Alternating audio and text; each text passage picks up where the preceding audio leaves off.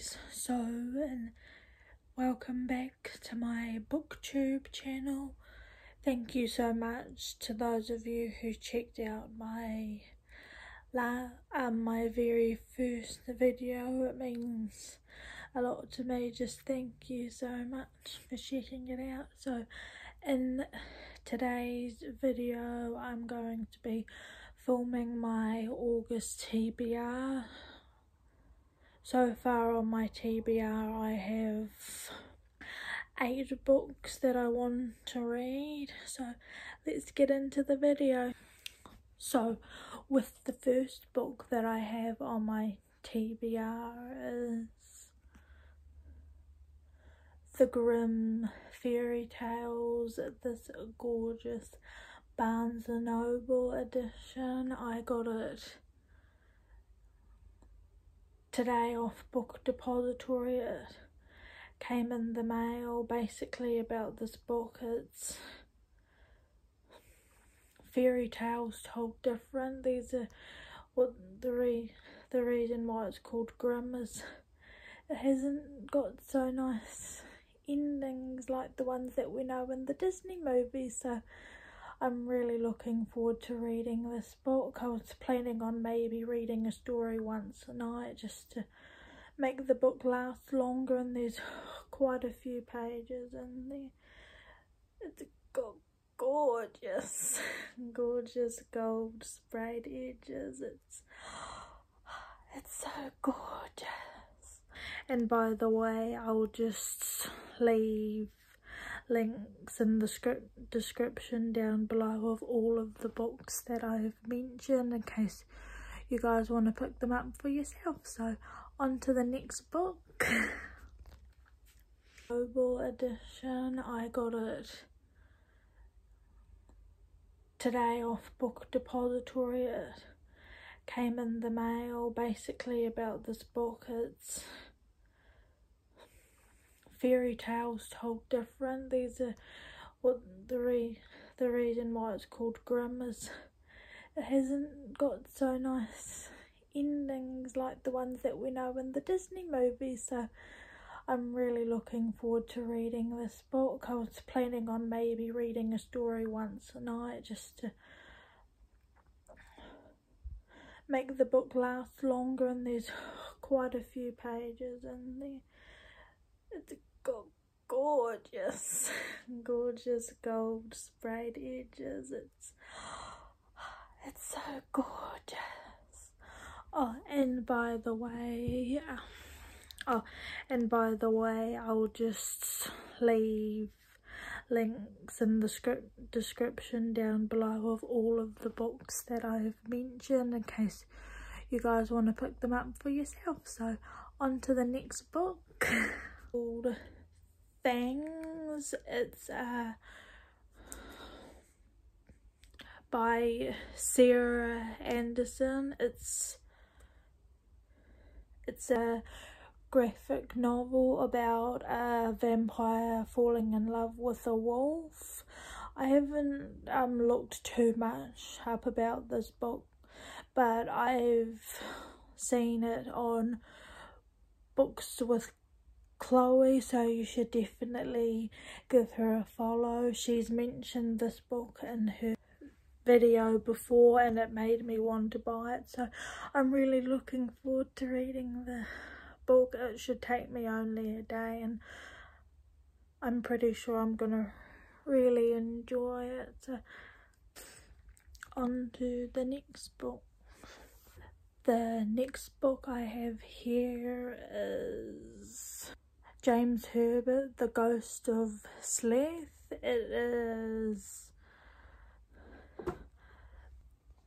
I think, a sequel to Haunted, the first book I read, but I'm not too sure. I think it's a completely different story. It's not a companion even though it says it's book too but I have read a few pages of it. I've started it already. I'm on page 10. It's um about this little boy who sadly drowns in a bar in the bath unexpectedly so maybe the mum is suspected of doing it i'm not too sure i just want to finish the book and tell you guys about it it is it does have the same guy in it david ash but from the few pages i've read so far he is having a bit of a rough time at the moment dealing with the outcome of the last investigation that he did. He's gone back to drinking and smoking and he's still thinking about the girl that he loved. So hopefully in this book we'll have growing experiences.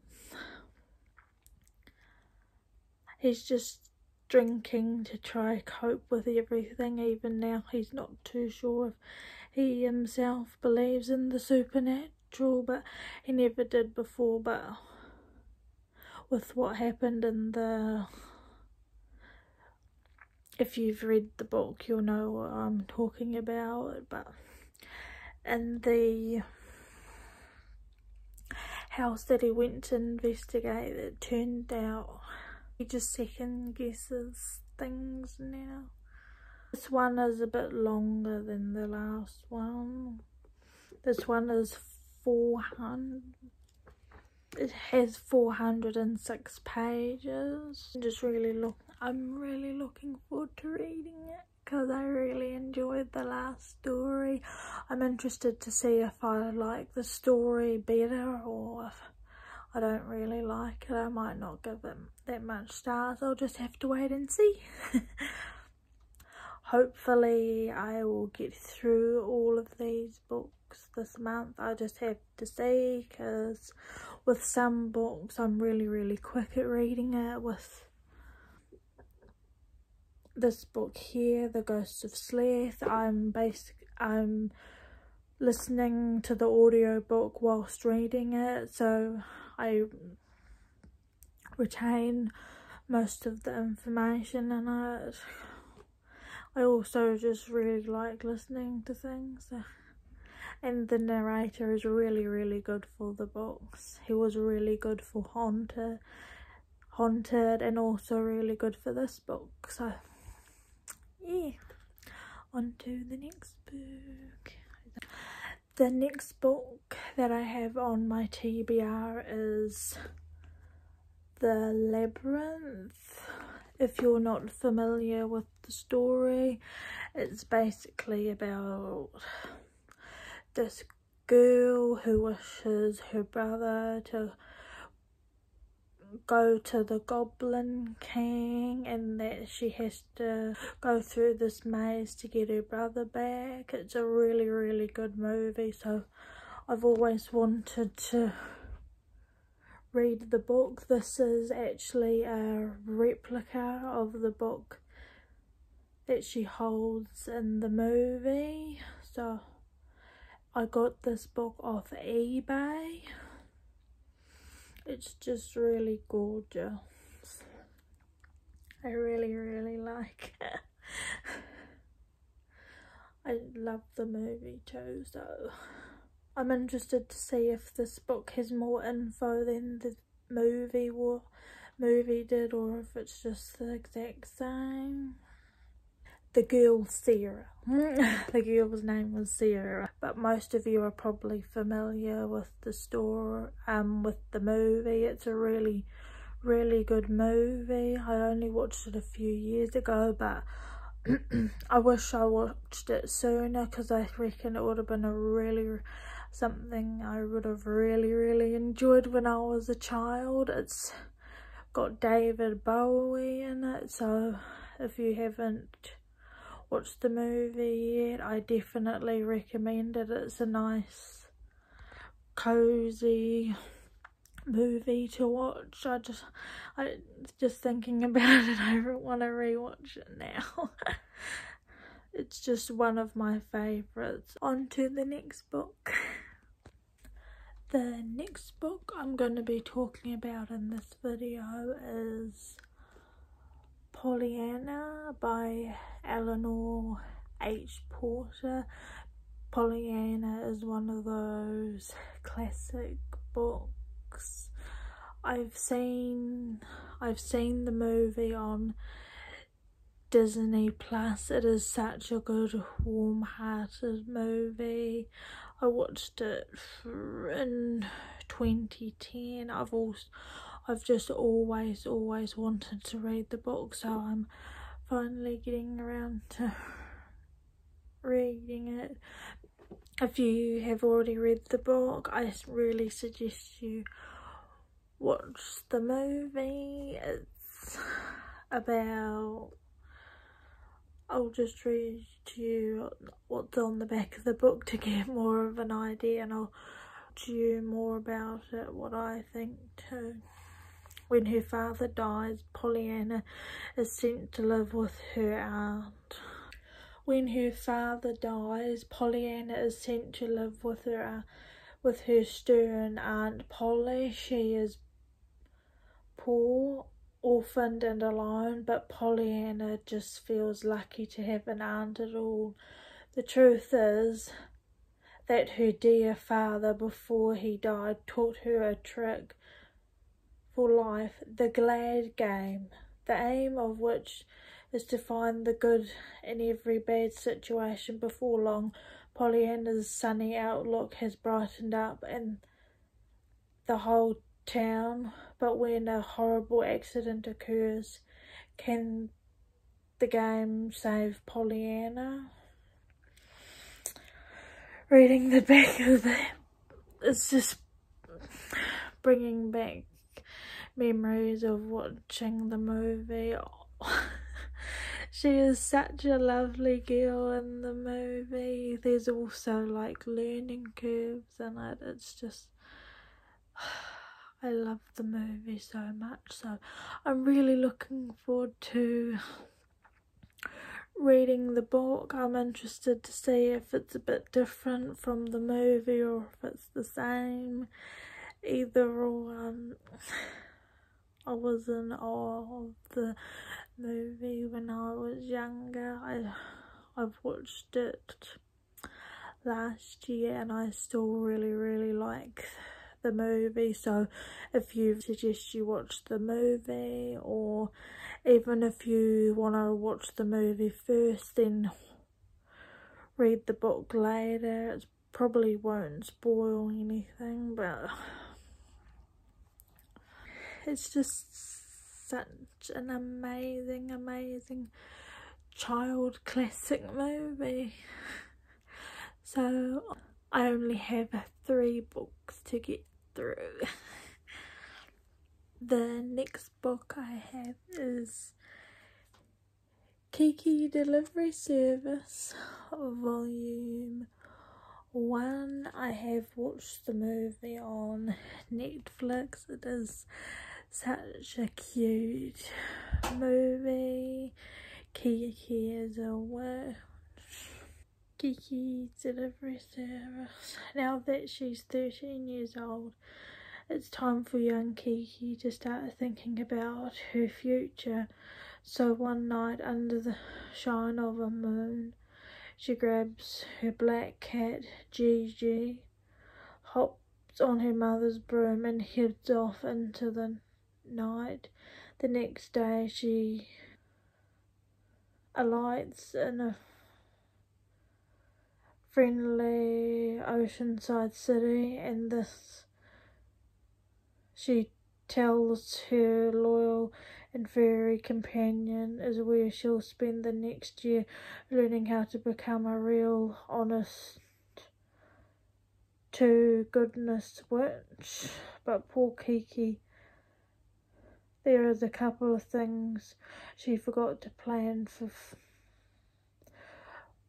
plan for. First she's got to find a place to live and secondly she's got to find a job. So this is volume one in the movie she goes to stay with the lady at the bakery.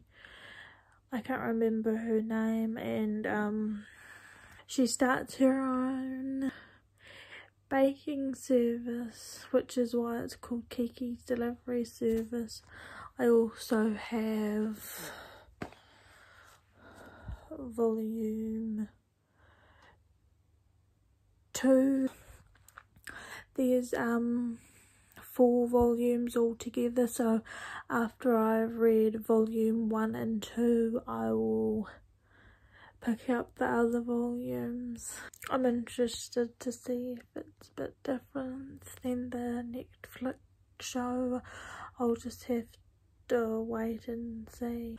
So the last book that I have on my TBR is Wuthering Heights by Emily Bronte.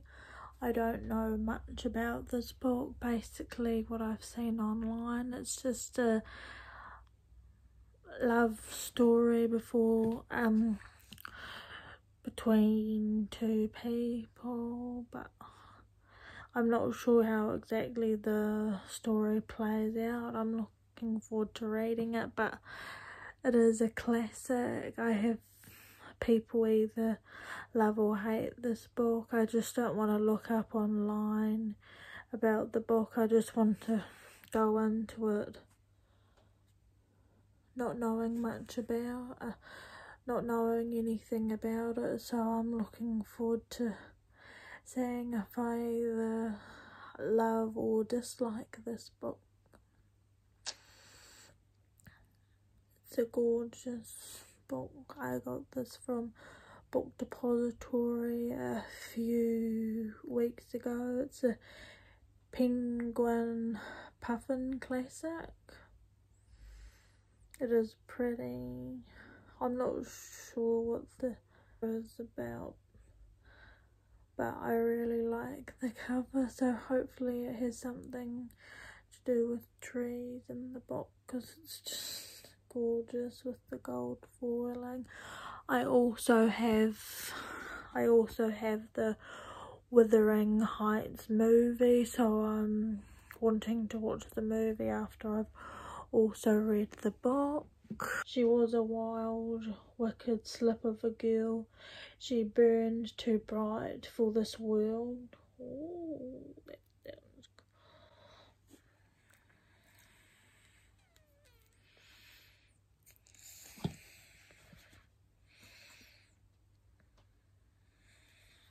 So yeah, that's the end of my August TBR. Hopefully I can get through all of these books. Just have to wait and see.